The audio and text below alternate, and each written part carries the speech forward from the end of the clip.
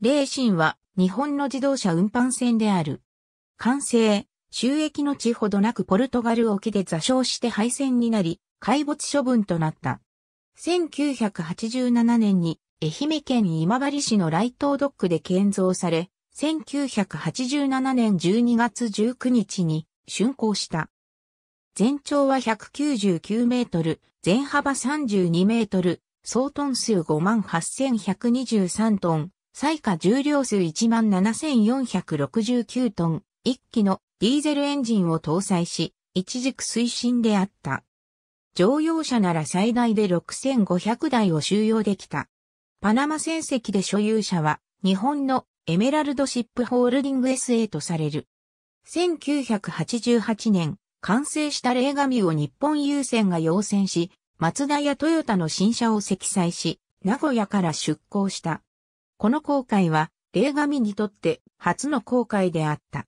霊神はヨーロッパの国々に寄港し、搭載した新車を下ろしていった。それらの国々の一つであったポルトガルを出港した後、アイルランドへ向かう途中の1988年4月26日、レーシンはポルトガルのポルト沖を航行中に座礁し、さらに左側に横転、転覆した。座礁した場所はドール川の川口付近とされる。この事故で乗員1名が死亡した。座礁時には船内にまだ自動車5432台が積載されていた。このうち松田社が最も多く西ドイツ向けのカペラなど1800台を中心に約2400台、この他トヨタ車も約1500台余りが積載されていた。船内から1、3程度の車両を取り出した後に、レーシンはサルベージされたが、作業に3ヶ月を要した。作業中の1988年9月には、自動車パーツの窃盗を目的に、二人組の男が侵入しようとして逮捕される事件があった。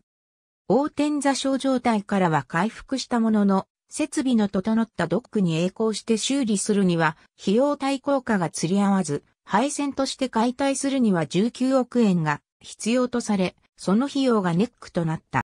さらに、日本の荷主側からは、船内に残された車が横流しされて、市場で安売りされれば、企業のイメージダウンになるとして、積載された自動車ごと処分することが希望された。このため、霊神は大西洋で自沈処分されることになった。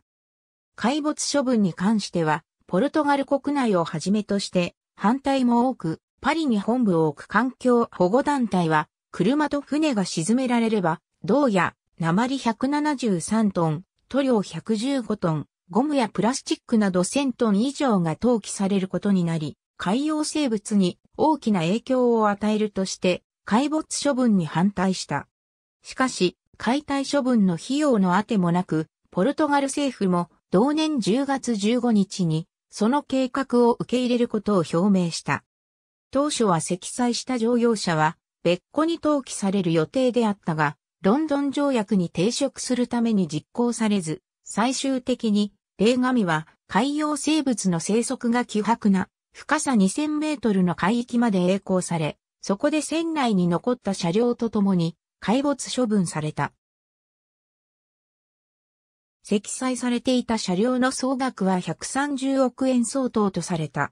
車両の損失損害は受け入れ先の輸入販売店が加入している保険で賄われた。霊心座礁事故に関するカテゴリー。ありがとうございます。